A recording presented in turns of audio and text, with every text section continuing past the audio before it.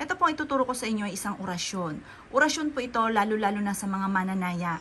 Kung ikaw po mga bossing ko, eh, ano man ang inyong tinatayaan mga bossing ko, eh, mainam na meron kang ganito.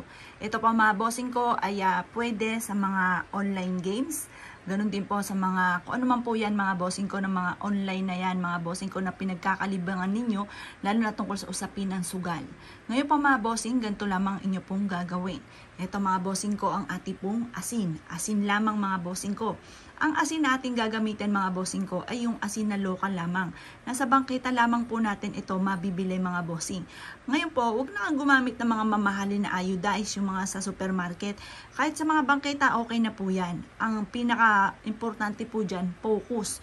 At naniniwala ka na makakamit nyo kung ano man ang ninanais po ninyo. Ngayon po mga bossing ko, ang gagawin nyo lamang po ay ganito. Kumuha kayo mga bossing ko, huwag kayong gagawa mga bossing ko ng ah, pampaswerte, lalo na at ang asin ay wala pong ah, salo-salo mga bossing ko. Dapat may nakasalo dito na tuwalita kapag ginawa nyo to ritual na ito mga bossing ko, orasyon. Gawin nyo to ng mga bandang ah, alas 7 mga bossing ko ng umaga. Kasi kapag ka ito ay nalaglag sa sahig, hindi maganda kasi ito ay natutunaw.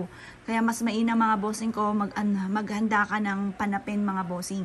Ang gagawin nyo lamang po ay ganito kumuha po kayo ng asin at ibudbud nyo ito sa inyo pong palad. Ngayon, sasabihin nyo po, sa pamamagitan ng pampaswerteng aking ginagawang ito, ng orasyon na ito, ay makakamit ko ang aking mga pinapangarap. Magwi-wish po kayo ng mula sa inyo pong puso. Tatama ako ng jackpot or kaya po sa numero na aking tinatayaan. Subukan nyo rin po ito mga bossing ko ang aking ibibigay na numero. Ito po ay 4, 3, 20. Gis 28 at 19. Subukan niyo po yan tayaan mga bossing at alaga ko rin po yan. Baka hindi po ako tumaya at kayo po makatama, ibig sabihin para sa inyo po talaga yan.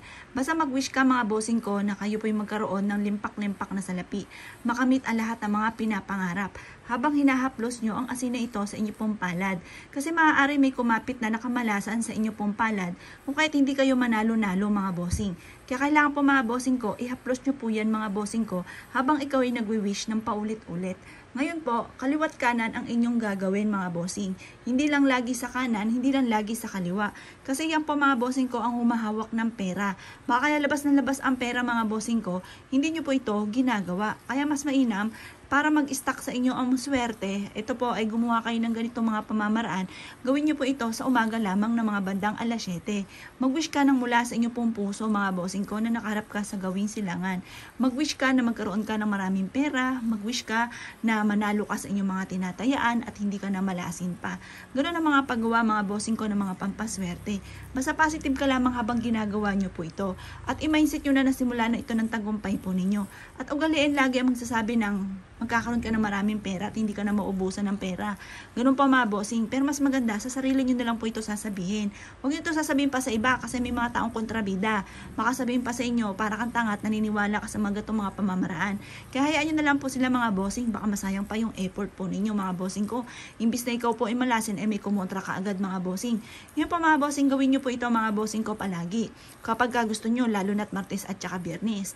Ngayon pa mga bossing, kung parang wala ka sa mood, huwag mong gagawin. Basta kung kailan may nasa mood ka at alas 7 ng umaga, gawin nyo na po ito mga bossing. Kaya kung ikay naniniwala at nice po itong gawin, asya mga bossing ko, good luck po sa inyo po lahat.